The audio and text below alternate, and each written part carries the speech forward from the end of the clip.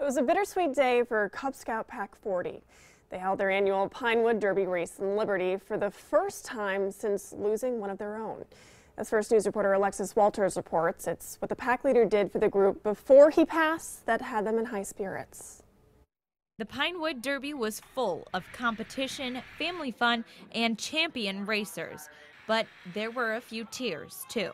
It's the first Derby race since the pack lost one of their leaders, Jared Colbrun, to cancer just four months ago. Jared was a huge part of the pack, and they've been a huge part of our family. The track that the Derby cars race on was bought with money raised by Jared. Each Scout Den raced, winners were awarded trophies and the chance to go to the district race. Jared's son, who is a Cub Scout, was one of those winners. Both of his sons are in the pack, and today they raced the exact cars that they built with their dad for the race last year. It was everything. Put every ounce of free time into it. Um, it really meant a lot to him. Today, both Jared's family and Cub Scout family were at the Derby, which they called his baby.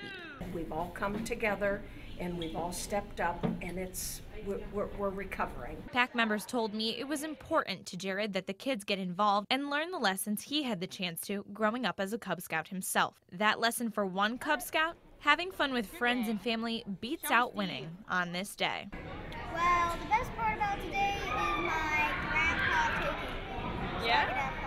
Alexis Walters, WKBN 27 First News.